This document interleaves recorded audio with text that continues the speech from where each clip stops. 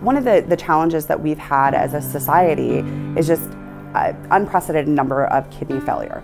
Um, so, you know, folks that have diabetes, uh, high blood pressure, that develops into a chronic kidney disease or kidney failure situation.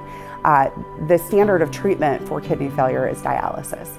Dialysis costs upwards of $30,000 a month, million dollars a year. It's a pretty hefty expense for a health plan, and the, the biggest problem is there's not a lot of warning, right? Somebody progresses very, very quickly into a situation where they're, they're from what we know, healthy to a million dollar claimant. And so, uh, one of the things that we've done is we've partnered with a, a renowned kidney transplant surgeon that's able to expedite the pairing and the transplantation of organs.